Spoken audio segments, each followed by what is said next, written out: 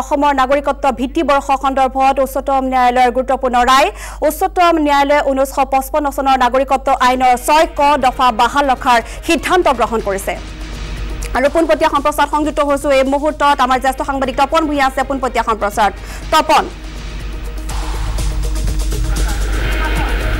নিশ্চয় অসমৰ যি ভিত্তিবৰ্ষ নাগৰিকত্ব ভিত্তিবৰ্ষক লৈ বিগত বহুদিন ধৰি যি চৰ্চা চলি আছিল বা উচ্চতম ন্যায়ালয়ৰ যি গোচৰ চলি আছিল তাৰ আজি এক মীমাংসালৈ আহিছে বা তাৰ এক নিষ্পত্তি আহিছে আৰু ইতিমধ্যে ঊনৈছশ এসত্তৰ চনটোক উচ্চতম ন্যায়ালয়ে ভিত্তিবৰ্ষ হিচাপে গ্ৰহণ কৰাৰ কথা কৈছে। আৰু এই মুহূৰ্তত আমাৰ লগত আছে গুৱাহাটী উচ্চ ন্যায়ালয়ৰ জ্যেষ্ঠ অধিবক্তা বিজন মহাজন ডাঙৰে তেখেতৰ পৰা আমি জানিবলৈ চেষ্টা কৰিম যে আজি উচ্চ ন্যায়ালয়ে উচ্চতম ন্যায়ালয়ে এটা গুৰুত্বপূৰ্ণ নিৰ্দেশনা দিছে। অসম একৰ্ড অসম চুক্তি। ছাত্ৰবস্ত্ৰৰ পৰাই আমি পাই আহিছোঁ। আমাৰ সময়ৰ কথা। ব্ৰহ্মপুত্ৰ বুকুৱেদি যথেষ্ট পানী বৈ গুচি গ'ল আৰু আজিৰ তাৰিখত অসম একৰ্ডক অসম চুক্তিক মই আইনৰ ছাত্ৰ হিচাপে যিটো বুজি পাইছোঁ যে অসম চুক্তিক পুনৰবাৰ ছুপ্ৰিম কোৰ্টে মান্যতা প্ৰদান কৰিলে। 6A, Section 6A, 6 capital A of the Citizenship Act, Assam চুক্তিৰ লগত সম্পৰ্ক থকা আৰু ছেকশ্যন ছিক্স এৰ যি কনষ্টিটিউশ্যনেল ভেলিডিটি তাক লৈ যিখিনি চেলেঞ্জ আহিছিলে ছুপ্ৰিম কোৰ্টৰ মজিয়াত ছুপ্ৰিম কোৰ্টে আজি নিশ্চিতভাৱে ঘোষণা কৰিলে যে section six A of the citizenship act has got constitutional validity অৰ্থাৎ এই ভিত্তিবৰ্ষবিলাক fifty one seventy one sixty ছিক্সৰ তাত উল্লেখ আছে ইত্যাদি ইত্যাদি। এই ছিক্স এ দফাটোৰ যেতিয়া মান্যতা প্ৰদান কৰিলে নিশ্চিতভাৱে মই ভাবোঁ যে অসম চুক্তিক পুনৰবাৰ মান্যতা প্ৰদান কৰিলে ছুপ্ৰিম কোৰ্টে ছুপ্ৰিম কোৰ্টৰ মজিয়াত। ইয়াৰ সুদূৰ প্ৰসাৰী ইয়াৰ প্ৰভাৱ থাকিব আৰু নিশ্চিতভাৱে ছুপ্ৰিম কোৰ্টৰ যি ৰায়দান সেই ছুপ্ৰিম কোৰ্টৰ ৰায়দানক সকলো পক্ষই মানি ল'ব লাগিব। সমূহ ভাৰতীয় নাগৰিকে লগতে চৰকাৰী পক্ষও।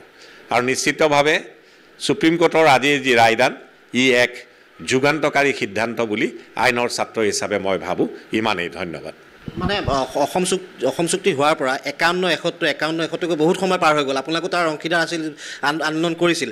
তাৰ পাছৰ পৰা আজি এই যিটো ন্যায় দিছে যে এতিয়া এসত্তৰ চনটোৱে ভিত্তিবৰ্ষ হিচাপে ল'ব লাগিছিলে কথাটো এনেকুৱা ধৰণৰ অসম চুক্তিৰ ছিক্স এ দফাটোক যেতিয়া মান্যতা প্ৰদান কৰিলে তাত যিখিনি লিপিবদ্ধ আকাৰত আছে ছিক্সটি ছিক্স বছৰটোৰ কথা আছে ছেভেণ্টি ওৱান টু বছৰটোৰ কথা আছে ডিফ্ৰেঞ্চাইজ কৰা ইত্যাদি ইত্যাদি কথাবিলাক আছে।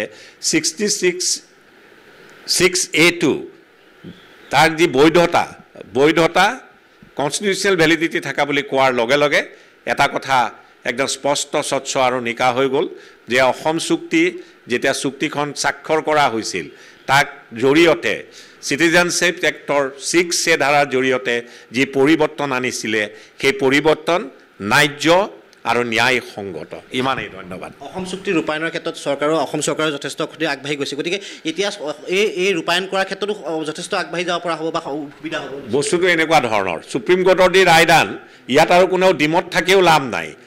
ছুপ্ৰিম কোৰ্টৰ আজিৰ যি ৰায়দান তাক সকলো পক্ষই মানি ল'ব লাগিব। সমূহ ভাৰতীয় নাগৰিকে আৰু তাৰ লগতে নিশ্চিতভাৱে অসম চৰকাৰেও কেন্দ্ৰীয় চৰকাৰেও ইমানেই ধন্যবাদ। এয়া আছিল জ্যেষ্ঠ অধিবক্তা বিজন মহাজন ডাঙৰে ইতিমধ্যে আজি উচ্চতম ন্যায়ালয়ে যি ৰায়দান দিলে সেই ৰায়দান সন্দৰ্ভত ইতিমধ্যে নিজৰ মন্তব্য প্ৰকাশ কৰিছে। বাবিচি মুহূৰ্তত আপোনাক ধন্যবাদ জ্ঞাপন কৰিছোঁ আৰু এক ঐতিহাসিক সিদ্ধান্ত